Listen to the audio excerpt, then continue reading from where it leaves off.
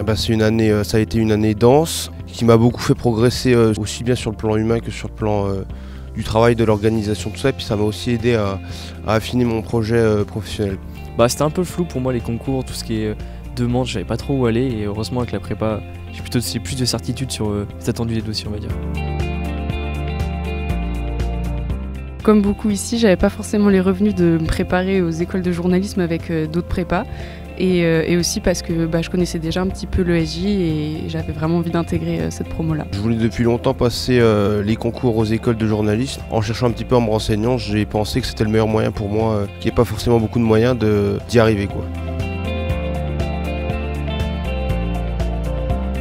Cette année s'est très bien passée. Euh, c'est vrai que là, on arrive euh, à la fin de l'année, donc on est un peu fatigué. Mais euh, ça a été hyper formateur et je pense que ça a donné euh, confiance à énormément de personnes au sein de la prépa.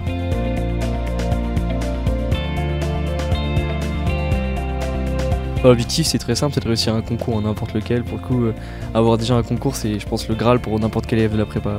Euh, mon objectif, c'est vraiment juste d'avoir une école et de m'y sentir bien.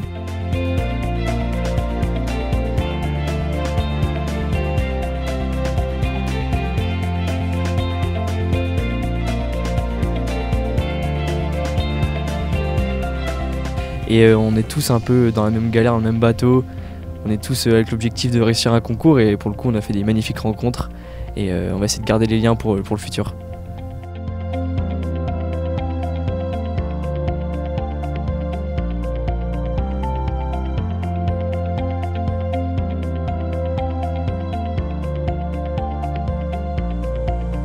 Euh, la rencontre euh, avec euh, un journaliste aussi passé par la prépa, Majid Kiat, ça m'a remotivé peut-être à un moment où j'étais un peu dans le creux de la vague et puis ça m'a donné confiance pour la suite. Je pense que ça va être ma rencontre avec mon parrain, qui est un pur produit de l'ESJ aussi, Majid Kiat, qui est reporter pour France Info. Et vraiment, il m'a hyper bien épaulé.